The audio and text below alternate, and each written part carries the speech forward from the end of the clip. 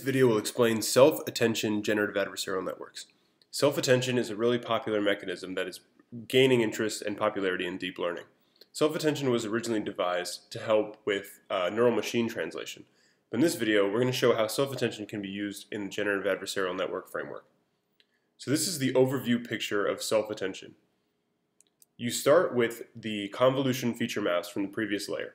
So a convolutional layer, it convolves over a layer uh, like an image or a set of feature maps, and it will output features of the dimension height by width by channels. So the idea of these one by one convolutions is to reduce the dimensionality of the channels dimension of the convolution feature maps. So for example, after a convolution layer, you might have 32 by 32 height width, but 6 by 64, 64 feature maps.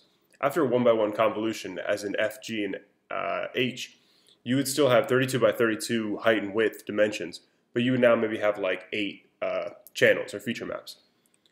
So F and G are, are extracted from the convolution feature map at the previous layer, and then F is transposed, they're multiplied together, and then they're passed through a softmax activation function to form the attention map. So what a softmax activation is, is it's an activation such that the sum of the outputs is 1, so it's like a probability distribution. And this is really useful for forming the attention map with the different outputs.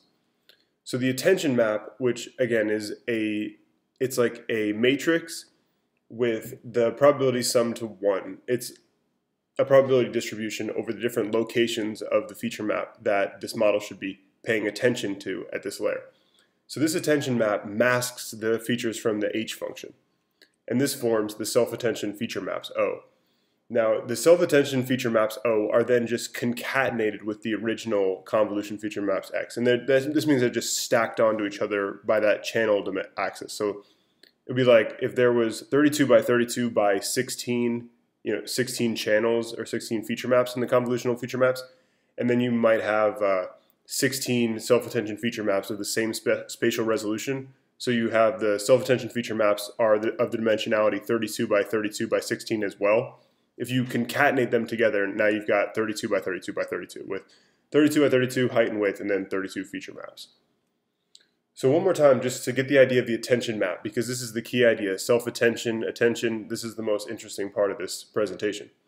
So the attention map is a softmax distribution over which of the feature maps, the this attention layer or the parameters defining attention, which features that it should look at for the for conducting these features for the ultimate task of generating images. And this is interesting because the way that we do GANs in images is with these upsampling convolutional layers. So this means is you go from a 4x4 image and then you have these local convolutions. And a local convolution means it aggregates information from a neighborhood of three or five uh, pixels formatted in that grid structure.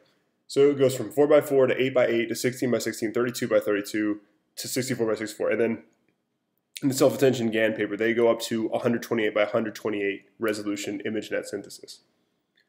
So this, uh, this chart right here is from the paper, and it shows where they add the attention block, the mechanism that we just discussed, into the network. So again, going back to the DCGAN, it could be adding it on the 8x8 layer, you put the attention there, or the 16, the 32, but they don't put attention on every single layer in the network. So this shows that they get the best results when they put it on the 32 by 32. And then on the right is the comparison between the self-attention blocks and the residual ResNet skip connection blocks. And this is just another way of propagating information forward. And the self-attention clearly outperforms it in every way in, uh, in this experiment.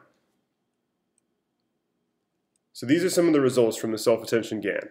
Pretty impressive uh, images synthesized on the 128 by 128 resolution on ImageNet. This is an example of how typically uh, image GANs struggle to make the dog be like anatomically correct. Like they, it might have like four dogs, but this is, I meant four, four legs. So this is an example of a dog which has been anatomically synthesized correctly. And this is an example of an image that still has some way to go, just showing that these results aren't completely perfect and is still not the state of the state of the art, but this is a foundational idea for the big GAN model, which currently is considered the state of the art. So one other interesting thing they put in the paper is they visualize the attention maps. And what they do, the way that they do this, first of all, because doing this on something like the 32 by 32 layer, if this is where the attention layer is, and you're going up to 128, those features would hardly make any sense to visualize. But so what they do is they put the attention map at the very last layer, right before the output, so that uh, you know this visualization has some kind of sense to it. So there are some other details of the self-attention GAN if you're looking to implement it yourself. They use something called spectral normalization, two timescale update rule. They use these learning rates with the Adam optimizer, and then two other things which are fairly intuitive eh, relating to like conditional GANs and sort of the way that you really make GANs work in practice is that they use conditional batch normalization, which is just where uh, the gain and bias parameters of batch normalization are determined by the class label.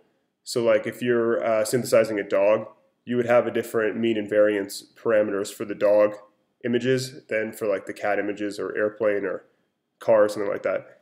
And then the uh, projection conditioning and discriminator is just a mechanism of where you put the conditional class label information. So thanks for watching this paper on, I mean, presentation on self-attention GANs. Please subscribe to Henry AI Labs for more deep learning videos, and the paper link is in the description.